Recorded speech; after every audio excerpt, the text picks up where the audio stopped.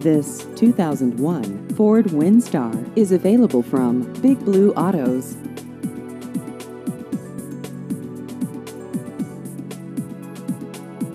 This vehicle has just over 113,000 miles.